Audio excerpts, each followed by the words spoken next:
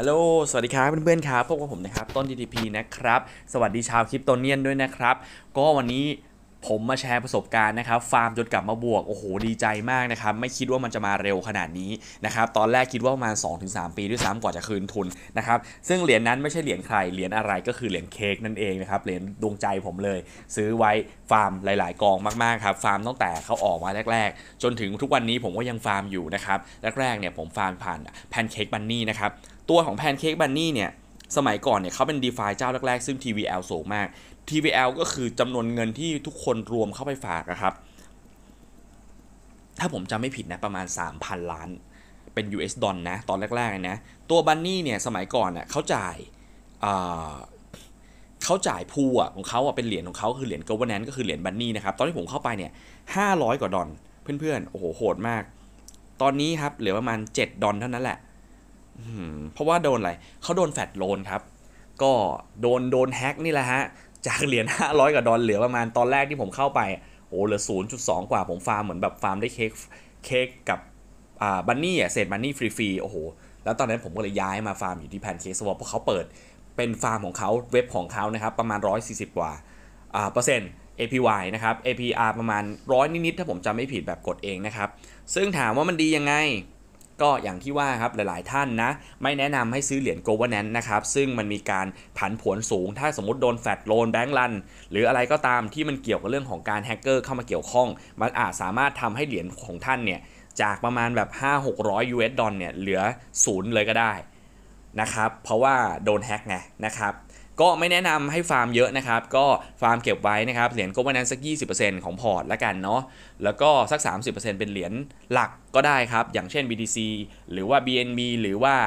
อ่า ETH นะครับ ก็ฟาร์มไว้เพราะว่าตัวของเหรียญอ่าเค้กเนี่ยเขาเป็นเหรียญโกวอ่าโกวแนนนะครับคือเหรียญแพลตฟอร์มเนี่ยผมจริงๆแล้วผมชอบมากนะครับ ผมยอมรับเลยว่าผมชอบมากเป็นสาวกของเขาเลย ด้วยความที่ลูกเล่นเขาเยอะ และเขาเพิ่งเกิดอะแต่ ยูเซอร์ของเขามีประมาณ 6 0 0 0 0 0คนแล้วเนี่ยเพื่อนๆมีเต็มไปหมดเลย มี NFT ด้วย ซึ่งอนาคตเขาอาจจะทำเกมด้วยก็ได้ อันนี้ผมไม่รู้นะ ผมไม่รู้นะ แต่ผมก็ซื้อเก็บไว้ เพราะว่าตัวที่ผมได้รับเนี่ยมันค่อนข้างจะคุ้มนะครับ อย่างที่เล่าให้ฟังตอนแรกคือ โอ้โห ตอนแรกผมเจ็บหนักมากนะครับซื้อตั้งแต่ 40 30 20 10 ผมก็ซื้อนะครับจนทุนเฉลี่ยเละ20 กว่าดอลนะครับผมคิดว่าโอ้โหไม่รู้ว่ากี่ปีจะกลับมาคืนทุนอาจจะปี 2 ปี ซึ่งผมก็ทำใจไปแล้วนะครับแต่มันจะกลับมาเร็วตอนนี้ 25 ดอลแล้ว อันนี้คือดอกตั้งแต่วันที่ 6 เดือน 7 นะ วันนี้ก็เป็นประมาณ 40 กว่าวันเนาะเอ๋วันนี้ 27 แล้วสิ27 ก็ประมาณ 50 วันนะครับ ได้ดอกมาทั้งหมด 21 เค้กประมาณหมื่น อ่า535นะครับ คูณ 33 ประมาณ 17นะครับ ก็ถือว่าเป็นผลตอบแทนที่โอเคนะ เพราะว่าต้นก็ประมาณเนี่ยฮะ224 เค้กนะครับ ได้กลับมาประมาณ 21 เค้ก ถือว่าโอเค ปีหนึ่งก็เกือบ 200 นะครับ ปีหนึ่งเกือบ 200 แต่ผมคิดว่าภูเขาเนี่ยอาจจะไม่ถึงปี อาจจะมีการปรับภูอาจจะมีการเผาอาจจะมีการอะไรหลายอย่าง เพื่อไม่ทำให้เงินเฟ้อนะครับ แล้วก็ราคาอาจจะสูงกว่านี้นะครับ อันนี้ไม่ได้หมายความว่าแนะนำให้เพื่อนๆมาฟาร์มตามผมนะครับ ไม่แนะนำนะเพื่อนๆลองศึกษาดูดีๆก่อนละกันวันนี้ ผมมาแชร์ประสบการณ์สั้นๆ คร่าวๆว่าเนี่ยผมฟาร์มเค้กอยู่แล้วมันกลับมานะเพื่อนๆลองเข้าไปดูคลิปที่ผมเคยทำไว้ก็ได้ นะครับว่าฟาร์มยังไงใช้ยังไงนะครับ จริงๆแล้วก็อย่างที่บอกว่าเหรียญทุกเหรียญเขาจะมี tokenomics ไม่เหมือนกันนะครับ ถ้าเพื่อนๆชอบเหรียญไหน